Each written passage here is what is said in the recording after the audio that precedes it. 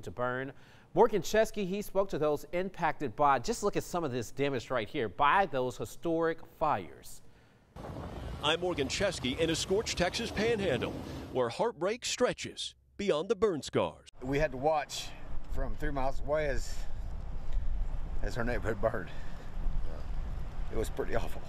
For a closer look, we joined rancher Jason Abraham flying over hard hit Canadian. I know the people that live there, and I know the people that lived there before these people lived there. The town of 2000 now facing a recovery that could take years. There's nothing you can do with a fire like this. I can't believe we didn't didn't kill a whole bunch of people. Authorities say the fires are responsible for two deaths and destroyed at least 400 buildings. No one can let down, let down their guard. As Tuesday's inferno moved in, Steve Rader captured this video, determined to save his home.